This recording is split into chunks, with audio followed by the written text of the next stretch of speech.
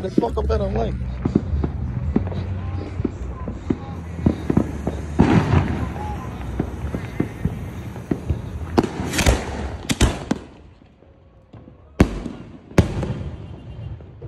Oh, drippy.